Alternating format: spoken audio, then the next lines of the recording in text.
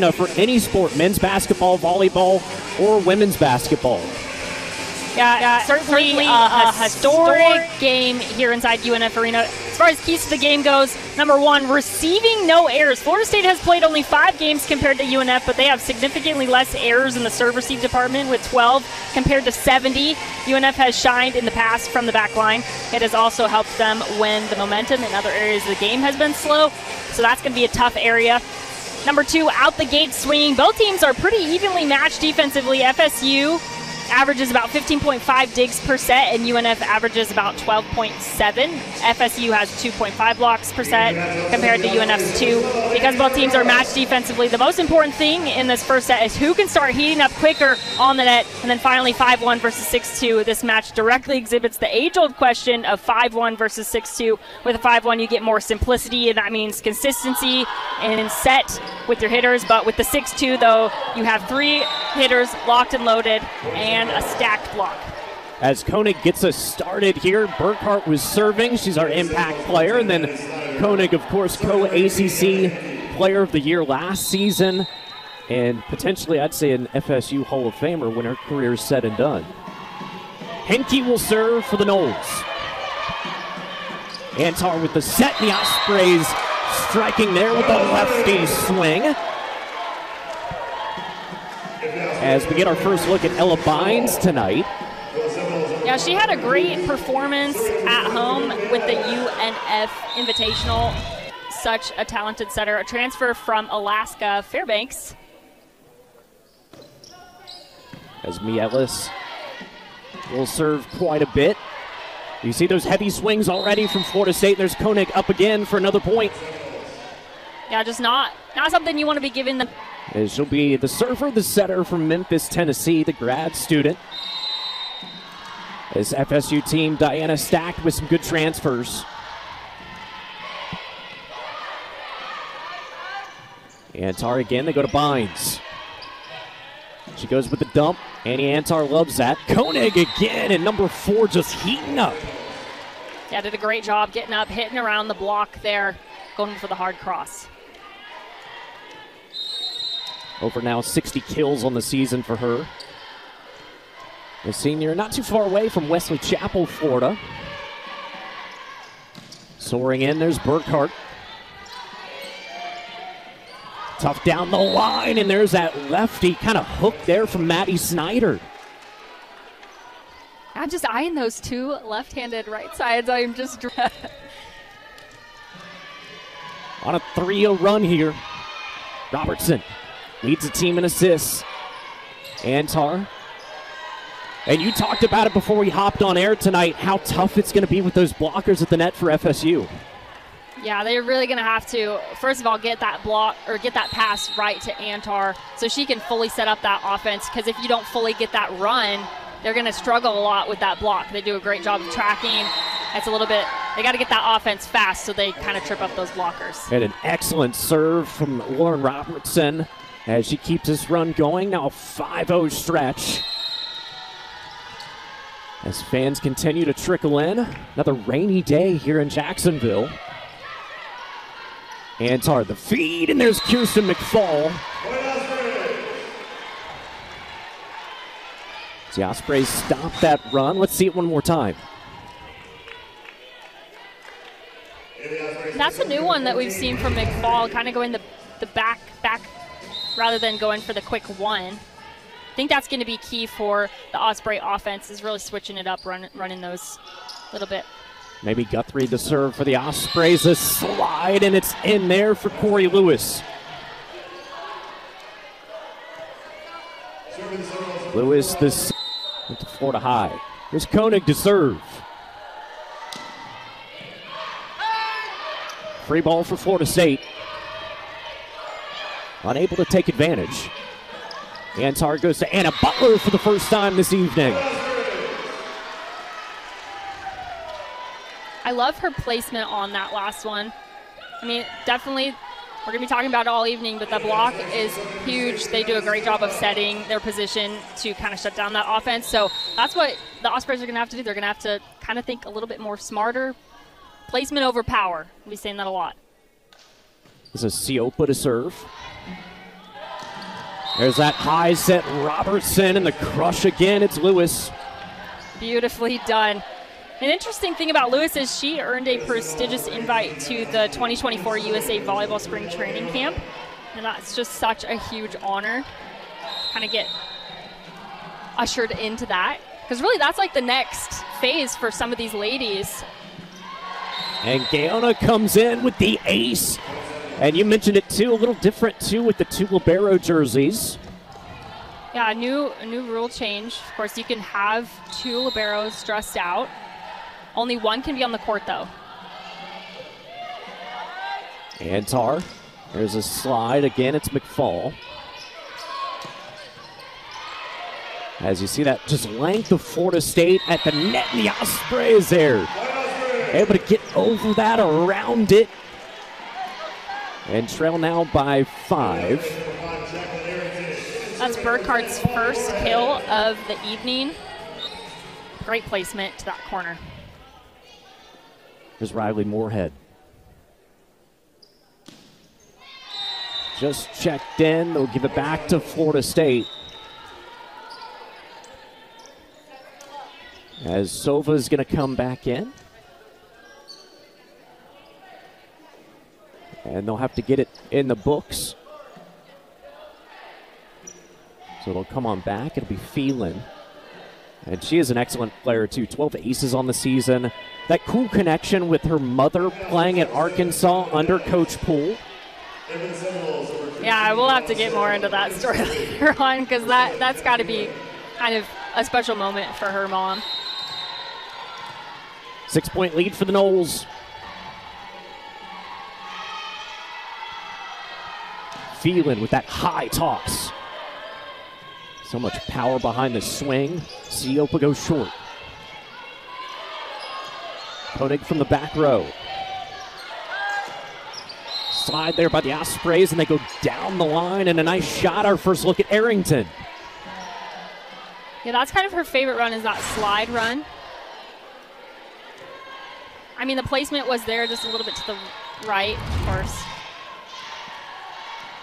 Block didn't look fully set, though, so I would suspect that maybe we'll see a little bit more of that run from her.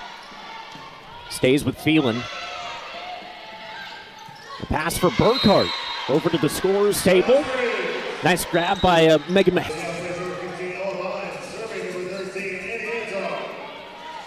Uh, why has FSU been clicking so well through 16 points? As a serve here, Antar loves to go short sometimes on those serves. Big set and a swing, a crusher from Taylor Head. What a talent she is. Last year she was in University of Arkansas. Antar. This one comes over, just a little bit of daylight right there as we see Bynes once again.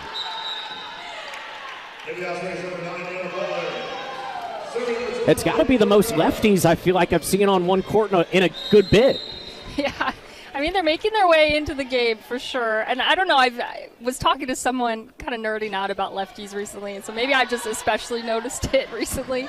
But quite a few on the court. Certainly makes it a lot harder for reading.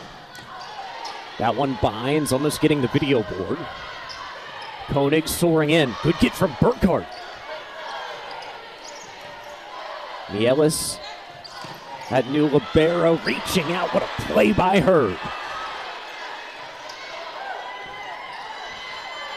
By far our best point this evening. For Butler. Head was ready in the back row. The roll shot just perfectly placed there by Henke. How about that rally though? That was you you hit it right on that. That was the best rally we've seen so far this evening. And Mielis, she had three beautiful digs. Almost got that pancake there at the end. They're right there, yep. Good effort from the libero. Yane Henke, the server.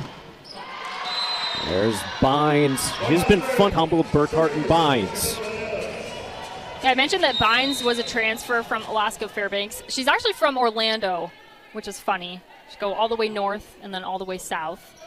But she had 423 career kills on 1,017 attempts. Antar here in the middle. Burkhart, Amy Burkhart with her third kill. So she and Bynes both neck and neck.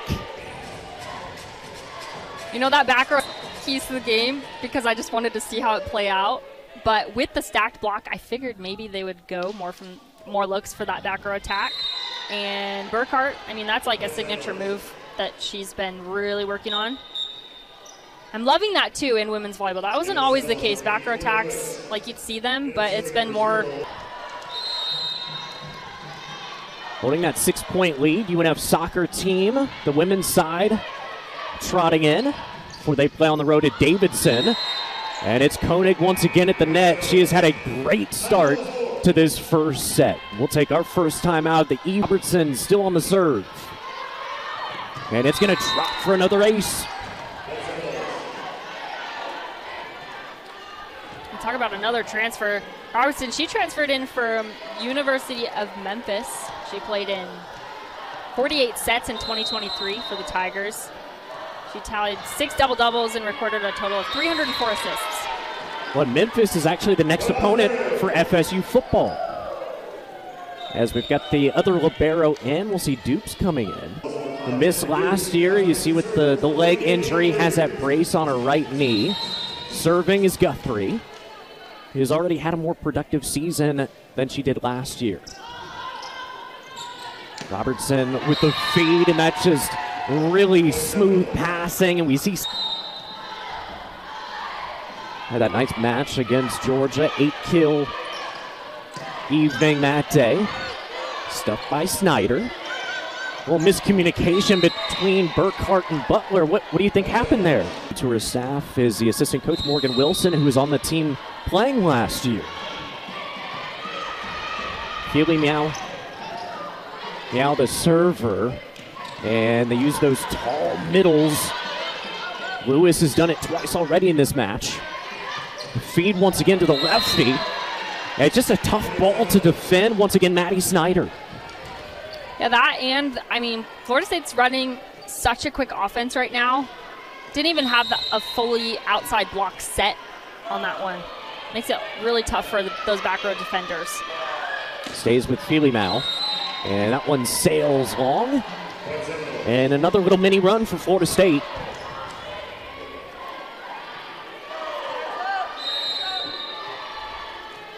They've scored five of the last six. And that one's going to sail wide as well from Anna Butler. And we'll see Siopa coming in for Anna Butler.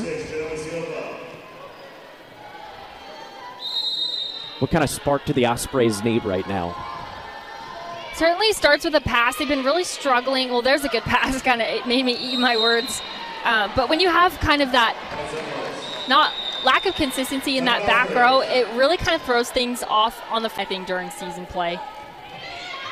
And Feely Mouse sails it long. So they'll have something to look at on film from the first set of how to improve. Zanelli Siopa.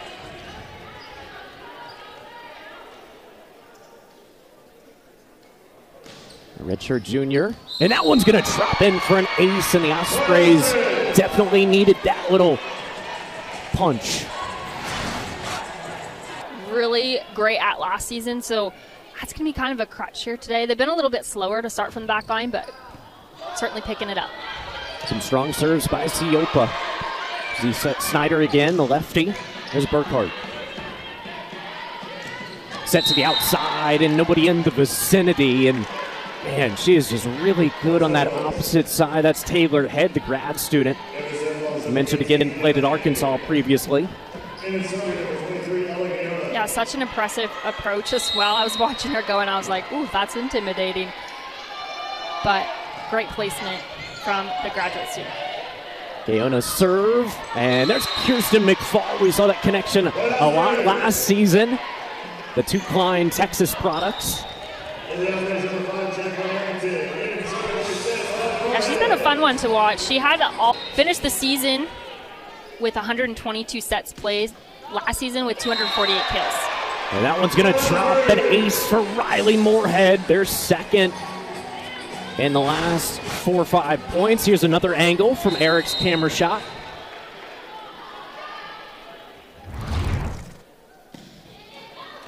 And doesn't give get the love from the tape this time. That's always the best.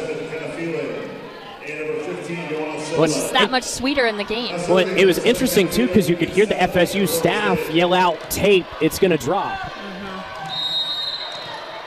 Serving is Phelan. So much power here. Ball practically goes off screen. Arrington.